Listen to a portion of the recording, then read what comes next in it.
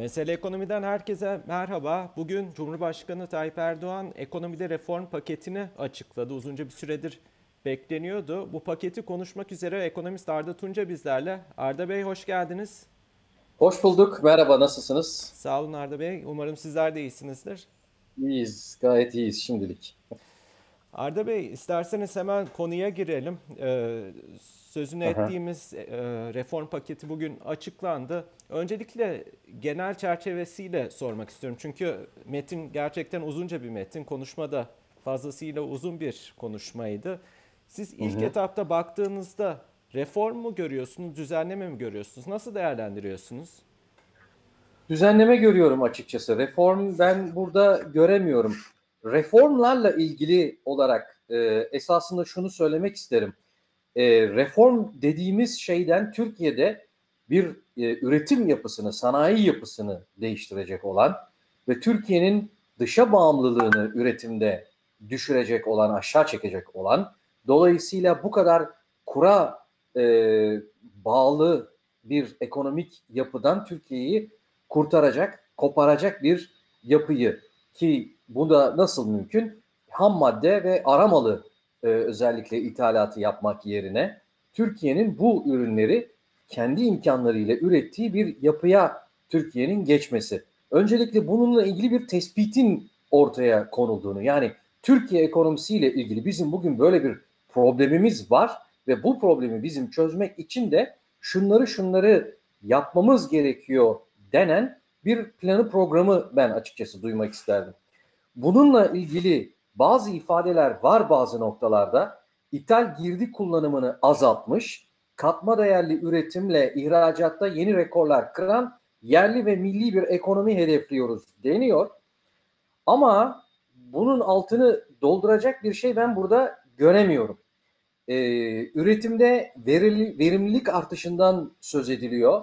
Yatırım, üretim, istihdam ve ihracat temelinde büyüme amacından söz ediliyor. Bunlar da tamam ama bunların altını dolduracak ben bir şey göremedim. Peki şunu düşünelim o zaman. Bu Cumhurbaşkanı tarafından yapılmış bir açıklamadır.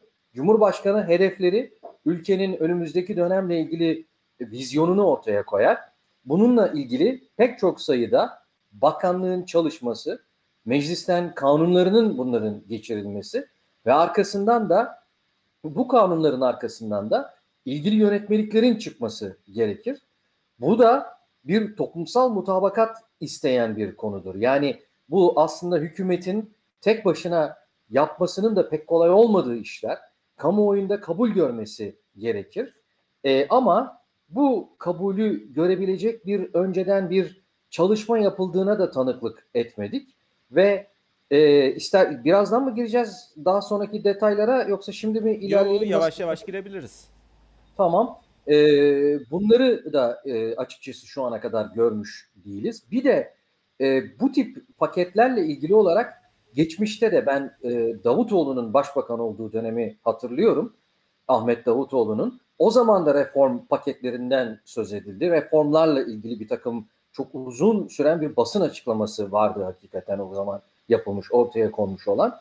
Onun da arkasından demiştik ki bununla ilgili yasaları takip edeceğiz, yönetmelikleri takip edeceğiz. Hiçbir şey gelmedi. Nitekim e, bir yandan burada yine reformlarla ilgili olarak işte bugün reform diye açıklanan ama kanımca reform olmayan ben buradaki son maddeye bu arada dayanıyorum. Son maddesi elbette reform belgelerimizle ilgili tenkitler olacaktır. Biz yapıcı her türlü eleştiriyi dikkate aldık, alırız noktasında bir e, bir bir madde var. Ben buradan aslında başlamış oldum. Bu maddeye sığınarak ilerliyorum. Dolayısıyla e, bugünkü e, buradaki paketten ben daha önceki uygulamalar ve önce önceki haftada hukukla ilgili insan haklarıyla ilgili pakette açıklananlar vardı. Aynı paketlerin Türkiye'de daha önceden e, yine aynı iktidar tarafından açıklandığını ve hiçbir sonuç arkasından gelmediğini biliyoruz. Dolayısıyla e, bir karne yani bu e, iktidar bugün e, bir ay önce göreve gelmiş olsaydı başka dinleyebilirdik, başka şeyleri sorgulayabilirdik. Ama burada karne de zayıf notlar var. Dolayısıyla bu zayıf notlarla acaba önümüzdeki dönemde bunlarla ilgili nasıl adımlar atılacak, ne gibi önlemler alınacak? Hele ki bir toplumsal mutabakat yokken, hele ki insan hakları ile ilgili konularda da aynı çok benzer maddeler e, yine 1 Mart 2014 yanlış hatırlamıyorsam tarihini 1 Mart 2014'te ilan edilmişken ve arkasından hiçbir şey gelmemişken nasıl olacak? İkincisi e, kuvvetler ayrılığı ile ilgili pek çok konuda hukukla ilgili konularda sürekli soru işaretleri e, oluşturan aynı zamanda enflasyonla faiz arasındaki e, ilişkileri kurmakta, doğru kurmakta bugüne kadar çok e, 180 derece farklı uygulamaları bir anda yapab yapabilen bir yönetimin e, olduğunu, e, orada bir takım ekonomi tarafında bu, bu uygulamalara imza atabilen kurmayların olduğunu gördükten sonra acaba nasıl olacak, nasıl ilerleyecek bundan sonraki süreç diye düşünmeden edemiyorum açıkçası. İlk giriş olarak bu bilgiler. Ben, ben burada pek reform nitelikli bir şey görmedim.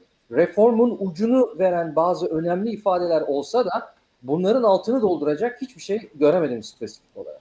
Peki Arda Bey şunu sormak istiyorum. Daha detay başlıklara gireriz ancak ben izlemeye başladığımızda hemen başında toplantının yapılan açıklamada fiyat istikrarıyla kafalarda soru işareti yaratan bir açıklamada bulundu. Fiyat evet. istikrar.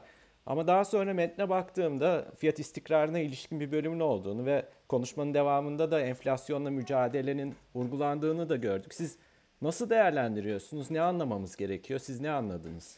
Şimdi ilk olarak ben de sizin anladığınız gibi anladım. Fiyat istikrarını bir kenara koyduk denirken bunu umursamıyoruz. Biz büyümeye yöneleceğiz. Onun için enflasyon çok umurumuzda değil gibi anladım ama daha sonra birkaç ekonomist arkadaşımın, dostumun e, uyarısıyla galiba öyle değil bir, de şöyle bakalım konuya demesiyle ben de fiyat istikrarı konusunda aslında ilk düşündüğüm gibi değil bu konuda adımları zaten atıyoruz. Hmm. Bu çantada yani duruyor. Bu konuda e, yapılması gerekeni yapacağız ve istikrarı yakalayacak e, hamleleri hayata geçireceğiz olarak değerlendirmem gerektiğini daha sonra e, fark ettim ve kendimi de bu konuda düzelttim. Bundan onu anlıyoruz. Ama işte soruyorum burada yani enflasyonla faiz arasındaki ilişkinin e, teoride e, iktisadın kendi kuralları içerisinde yani yer çekimi var mıdır, yok mudur, dünya yuvarlak mıdır ya da düz müdür noktasında bir tartışma bugüne kadar yapıyor olduğumuz için en temel noktada, en temel konuda bundan sonrası nasıl yönetilecek bu konunun? Bu tabii bir soru işareti olarak kafamda e, yer ediyor, duruyor.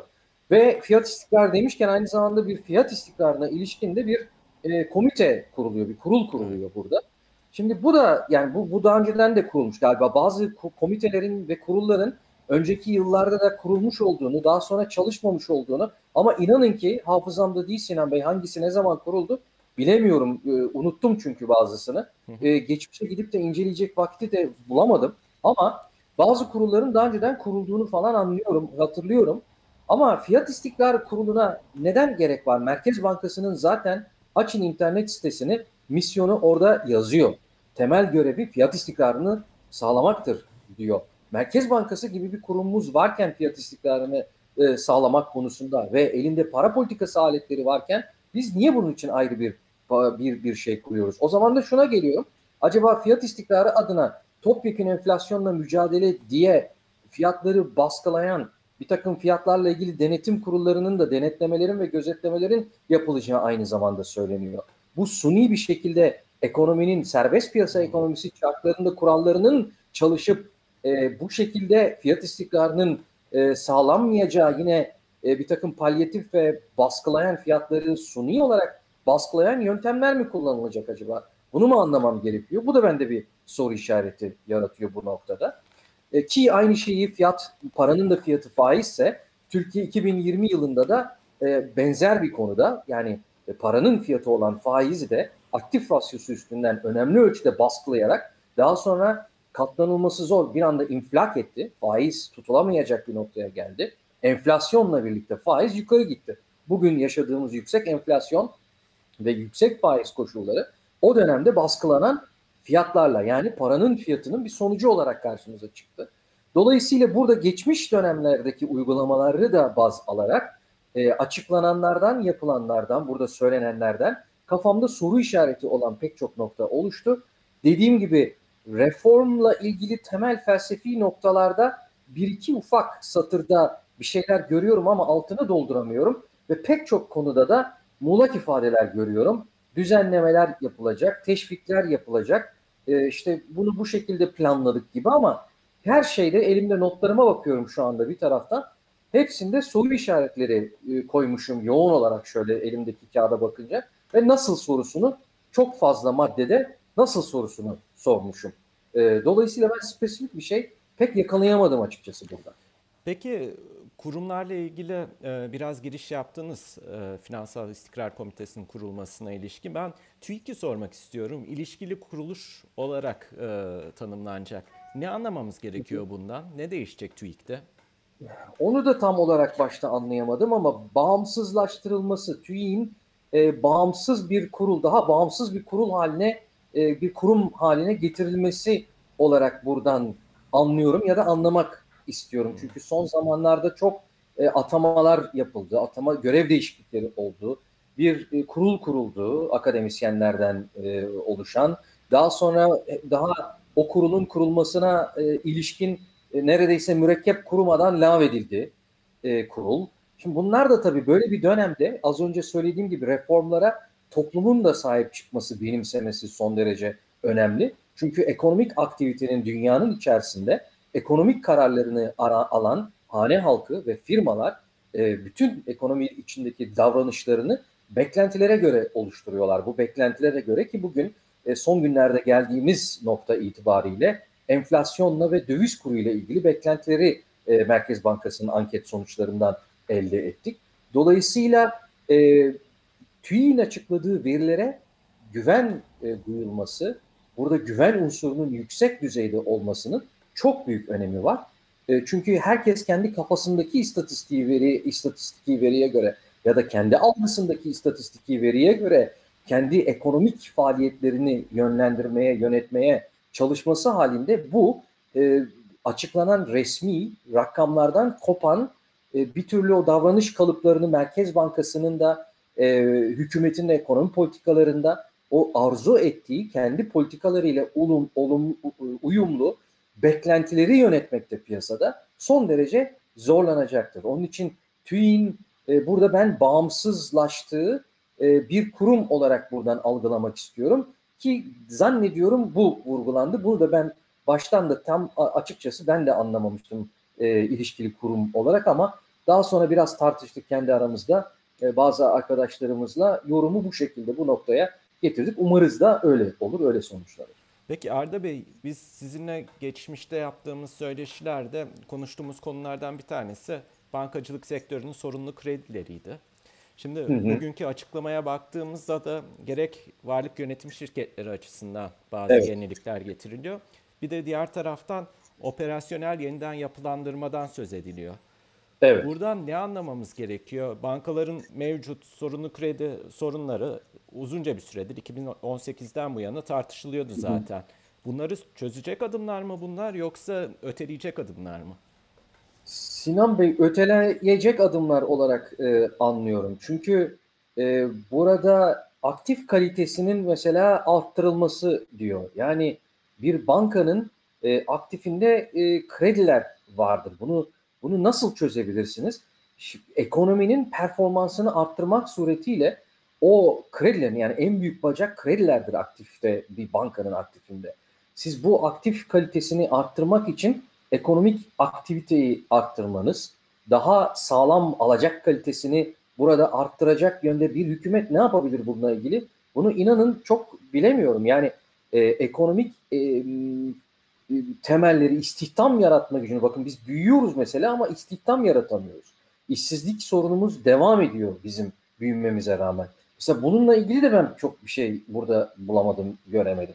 Yani e, salgınla ilgili yardımlar, işte esnafın vergilerine bir takım e, bir takım avantajlar sağlamak bunlar bunlar döneme ilişkin geçici bir takım önlemler. Bunlar reform değil. Orada onun da ayrımının yapılması gerekirdi, ifade edilmesi gerekirdi ama yani bir hükümet aktif kalitesini arttırmak yönü ancak ekonomi politikalarını yönetir.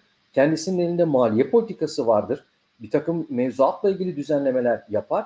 Bunlardan sonra da beklentisi ekonomik aktivitenin artması ekonominin performansının artması ve o alacaklarında bankanın duran kredilerin geri ödenmesinin yani iyi performe edebilmeleri için şirketlerin kredilerini, servis, borç servislerini yerine getirirken bu konuda sorun yaratmayacakları bir ekonomik zeminin oluşturulmasına çalışmaktır hükümetin görevi.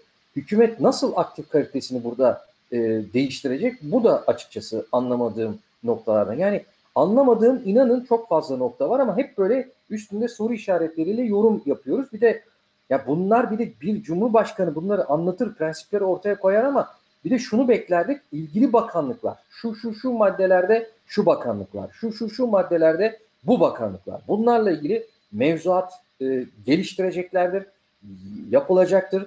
Bununla ilgili e, meslek kuruluşlarıyla, e, odalarla, borsalar birliğiyle neyse bütün e, kamuoyuyla temasa geçilecektir. Çünkü burada benim dediğim o sanayideki yapı değişikliği için Türkiye'nin sektör sektör ne kadar girdi sağlıyor? Bu girdileri nereden ithal ediliyor? Kendi içindeki üretim kapasitesi nedir? Nereye kadar üretim kapasitesini ne kadar süre içinde e, getirme, belli bir noktaya getirme gücü vardır? Bütün bunların hepsi aslında çok detaylı planlar e, gerektiriyor. Bu planları bir cumhurbaşkanının açıklaması pek mümkün değildir. O vizyonu koyar ama arkasından bunları söylemesini beklerdim. Yani bu detay çalışmalar yapılacak. Ben işin felsefesini, vizyonunu ortaya koyuyorum demesini beklerdim ama o da gelmedi. Yani öyle spesifik bir şey de gelmedi. Yani ben Türkiye'de bugüne kadar açıkçası e, iki tane reform ülkede gördüm. Kendi yaşadığım e, hayatım boyunca. Biri 24 Ocak kararları 1980'de e, ithal ikameci politikalardan Türkiye'yi e, sanayiye dayalı büyüme modeline geçirmeye yönelik işte bankacılık sistemine real, negatif reel faizi pozitif reel faize çeviren e, Türkiye'deki e, dışa açılmasını Türkiye ekonomisinin sağlayan biri de 2001 krizinden sonra bankacılık sektöründe yapılan düzenlemelerle ki BDDK'nın kuruluşu da e, hemen o günlerin e, eseridir. E, kurulmasıyla bankacılık sisteminin sermaye yapısının güçlendirildiği, risk yönetiminin belli bir noktaya getirildiği, bankaların o güne kadar esas faaliyetlerinden koptukları ama o reformlarla ana faaliyet konularına, esas faaliyet konularına döndükleri bir süreç yaşanmıştı.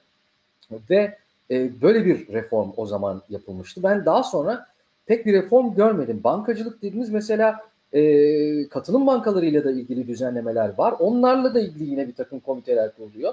E, biz niye bu kadar dallanıp budaklandırıyoruz bunları? Zaten BDDK var. Yani bankacılık sistemini düzenleyen bir kurumu zaten Türkiye'nin var. Yani nasıl ki fiyat istikrarı konusunda Merkez Bankası varsa bankacılık sistemi ile ilgili BDDK var.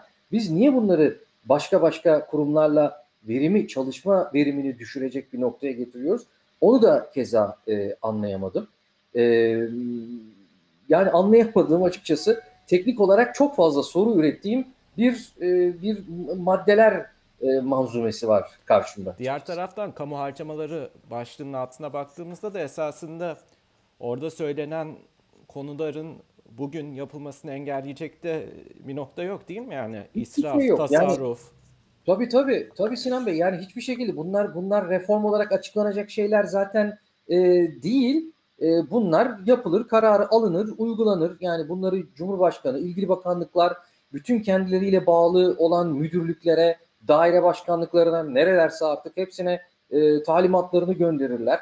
E, kısıtlamalar getirilir bunlarla ilgili ve zaten tasarruf da burada alınır, önlenir. Ayrıca Türkiye'nin bu arada maliye tarafında, hani kamu maliyesi tarafında e, çok da kötü bir yerde olduğunu söyleyemeyiz Türkiye'nin.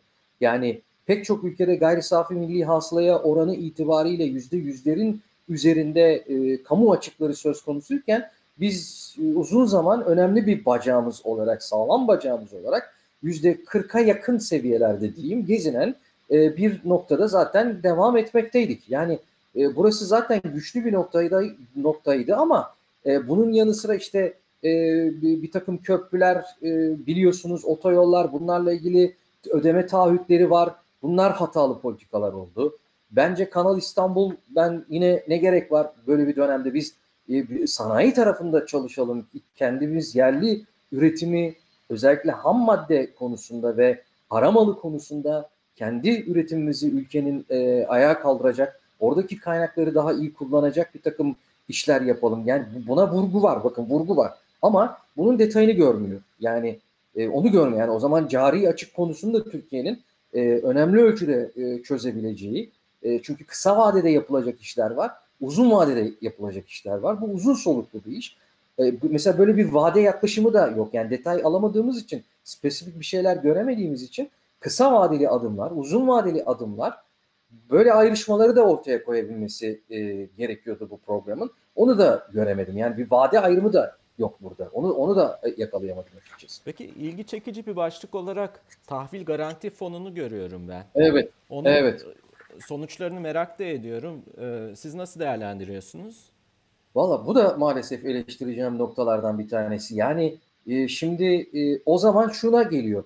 E, bunun anlamı nedir? Şöyle söyleyelim. Türkiye'deki firmalar giderler e, şu anda iki metotla e, kaynak sağlayabiliyor ya da üç metotla. Bir tanesi kendi şirketin öz kaynağıdır bu. Öz kaynağını kullanırız. Hissedarın, sermayedarın koyduğu kaynaktır şirkete öz sermaye. İkinci kaynak banka kredileridir. Bankalara başvururlar, kredi kullanırlar. Üçüncü bir e, kaynak olarak da e, halka açılmak. Eğer onun tabii çok özel başka koşulları var halka arz olmak suretiyle e, Borsa İstanbul üzerinden kaynak yaratabilirler. Bir de oraya gitmeden önce de banka ile halka arz arasında duran e, özel sektör e, bonoları ve tahvilleri belli bir vade için gider piyasadan yine Borsa İstanbul platformunda borçlanırsınız. SPK'nın onayı vardır yine orada. Bono ihraç edersiniz ve belli bir süre için banka kredisi benzeri ama kaynağı banka olmayan e, kaynağı e, nitelikli yatırımcının olduğu ya da diğer kurumların olduğu, portföy şirketlerinin, yatırım şirketlerinin olduğu bir yerden kaynak yaratırsınız kendinize. Şimdi buradan bu kaynakları elde ederken o zaman niye burada bir garanti fonu kuruyoruz, bir garanti destek burada veriyoruz da özendirmek amacıyla e, mesela niye banka tarafında bunun yöntemi gidip garanti vermek mi olmalı? Yani özendirmek için mesela e, mevduat tarafı, orada da birilerini çekmek için o piyasaya belli getiri beklentileri olacak oradaki yatırımcının da. Mesela şu anda mevcut yapıda e, mevduattaki bir stopaj avantajı var ama mesela bono tarafında yok. Bankalara getirildi orada bono tarafında stopaj avantajı ama e, reel sektör kurumları da çıkıyor. Onlar şu anda dezavantajlı durumdalar. Yani böyle bir destek vermek yerine piyasa realiteleri içinde bu desteği niye bu şekilde vermiyoruz? Niye bir adaletsizlik yaratıyoruz daha vergi tarafında da kaynak kullanımı açısından e, böyle bir garantiye gidiyoruz? O zaman hepimizin e, para batırıp bir konuda e, devletten garanti alması gibi bir hakkı olması lazım. Bunlar biraz e, palyatif, e, biraz serbest piyasa ekonomisi koşullarını ittiren. Yani bu biraz da şöyle moral hazard diye adlandırılan e, biraz e, ahlaki olarak piyasayı da başka bir yöne ittiren bir konuya da dönüşüyor. Bu neden? Nasıl olsa devlet garantisi var deyip de bu sefer herkesin gittiği, herkesin istismar etmeye çalıştığı bir piyasaya da çevirebilirsiniz burayı. Önce bir vergi konusunda bir adalet getirelim. Vergi demişken dolaylı dolaysız vergiler arasında da ben bir şey burada göremedim. O da enflasyonun yapısal olarak e, çözüme ulaşması, enflasyon sorununu çözmek adına yapısal olarak oradaki konuyu halletmesi gereken önemli bacaklardan bir tanesi. Mesela onu da göremedim dolaylı dolaysız vergilerle ilgili ayrımı. E, kayıt dışı ekonomiyle ilgili çok cılız vurgular var. Hı hı. Onun içinde kayıt dışı ekonomiyi halletmeniz lazım. Dolaylı dolaysız vergi arasındaki e, enflasyonun e, sorun olduğu noktadaki o problemleri çözmek için e, kayıt dışı ekonomiyi de halletmeniz lazım. E, buradan da neyi kastediyorum? Siz ve ben, e, siz ya da ben çok zenginiz, siz çok fakirsiniz ya da ben çok fakirim. Bakkala gittiğimizde aynı KDV'yi ödüyoruz ama hayır. Bunun dolaysız yani beyanname ile verdiğimiz vergi gelirimizin üstüne vergilendirmek daha adaletlidir. Ama bunun kayıt altına almanız gerekir ekonomiyi ki burada verimli bir vergi tahsilatı sistemi gelişsin. Bu da zaten enflasyonla biz bakkala gittiğimiz zaman enflasyonu o zaman oradaki vergi şiştiği zaman enflasyon olumsuz etkileniyor ama e, dolaysız vergi beyannameyle ben vergimi ödediğim zaman orada bir şey yok. Malların fiyatlarına atılan bir unsur yok orada çünkü. Kastettiğim o.